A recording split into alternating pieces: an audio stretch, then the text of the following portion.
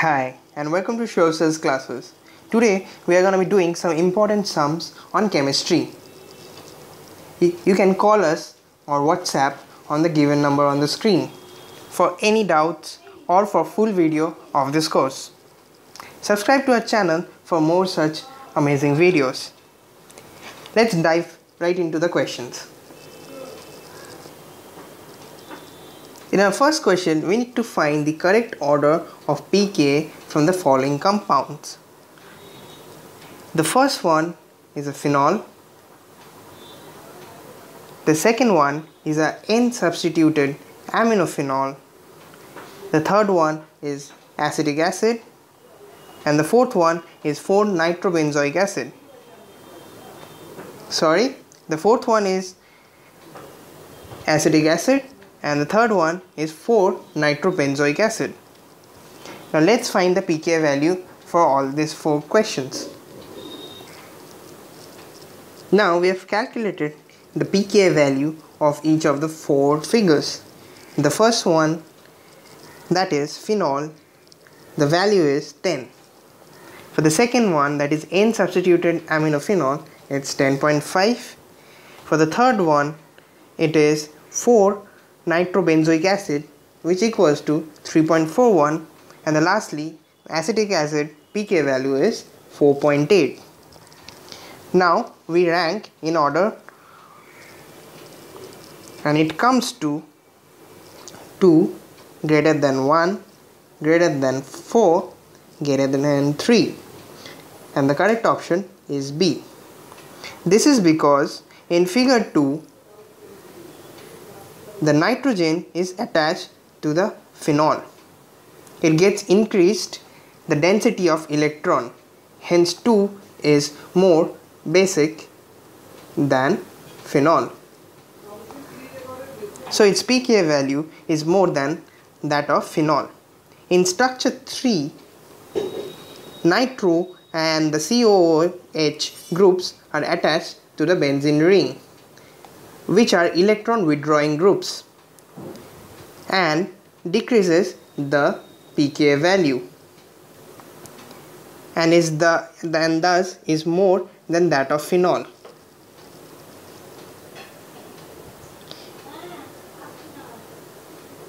Sorry, its pK value is less than that of benzoic acid.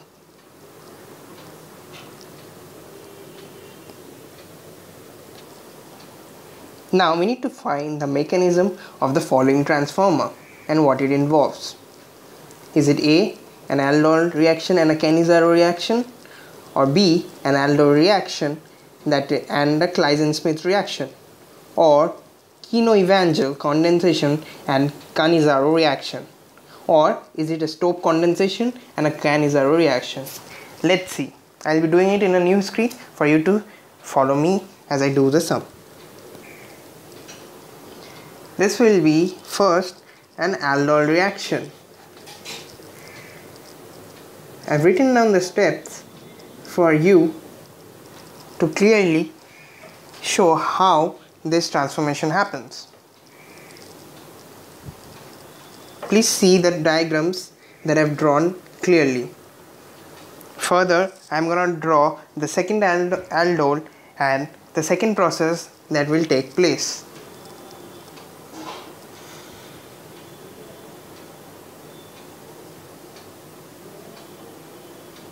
Notice how the electron sharing takes place at each and every step of this reaction.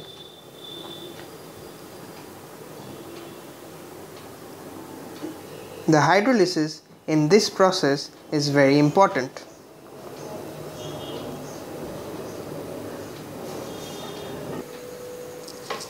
Again, starting from here, we see how the aldol process continues. Upon hydrolysation further, we get the second aldol and this comes into this form and lastly in presence of H2O we have the following compound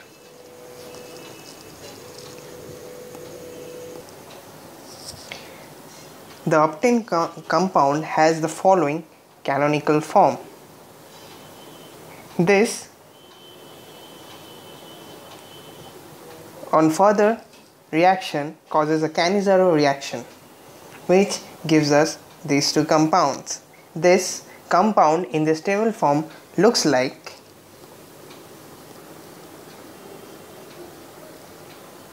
Moving on to the next question. What is the most basic amino acid among the following? Tyrosine, methionine, arginine or glutamine? Let's see what the answer will be. The answer is C. Arginine. Basic amino acids are arginine, histidine and lysine. Each side chain of this amino acid that is arginine is basic that is it can accept a proton. This guanidino group in arginine's side chain is the most basic among all the other amino acids. Let's see another simple question. Among which of the following indicator is redox titration is used? A. Eriochrome black T, methyl orange, phenolphthalein, or methylene blue? The answer is D. Methylene blue.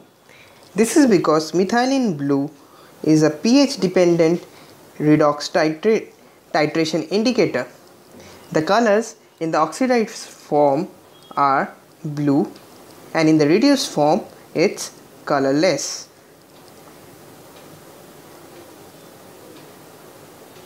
Let's see another question. Now we are given three states of carbon dioxide in their entropy form. We need to find the correct order. And the order is entropy is highest when there is more randomness and there is more disorder. Thus, in gaseous state of carbon dioxide molecules, there is more random mobility more than liquid and its solid states. Thus, the orders are CO2 gaseous greater than CO2 liquid greater than CO2 solid and this coincides with number C as our answer. Now we need to figure out the coordination number of CS ions and Cl ions in the cesium chloride structure. Is it 4 4 48, 66 or 88. Cesium chloride crystallizes in a simple cubic cell form. Over here the edge length is 4.12 angstroms. Chlorine has 8 neighboring or opposite charge at vertices of the cube that I've marked in red in the following figure. Similarly, cesium also has 8 neighboring opposite charge particles which is marked as green in the given diagram. Thus, the ratio is 8 is to 8 which comes as to be number D. The cesium chloride coordination number is 8, 8. Let's see another question. Now a very easy question to relax your brain a bit. The determinant of a square matrix is always square matrix, column matrix, row matrix or a number. The answer is very simple, a number. A determinant is a real number associated with every square matrix. Thus, we get number D as an option. Now let's again work our brains a bit. Now we need to figure out the most stable conformation of meso 2,3 dibromobutane. We are given the following four structures. Let's see which is the correct one. This is the most stable conformation of meso 2,3 dibromobutane. The reason is the conformation the bulky, the bulky methyl group and the heavy bromine atom on adjacent carbon atoms are as far apart as possible. As a result, the steric hindrance between the two methyl groups and bromine atoms gets reduced which leads to increase in its stability. Hence, this conformation is the most stable among all of our options. And from the figure, number B is the answer.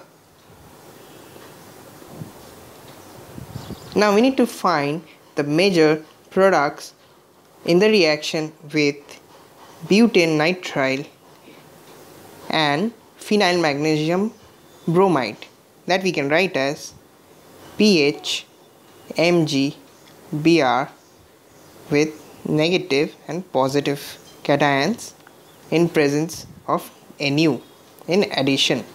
Let's see what it comes to. This gives us a compound which has nitrogen magnesium bromide from phenyl magnesium bromide and on further hydrolysis this hydronium ion that we have gives us a compound with pH and O on either sides of the carbon chain and this corresponds to number A.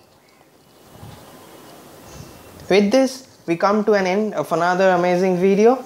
In the next we'll do some more important sums that will be of help to you. Please like, subscribe and see the description below.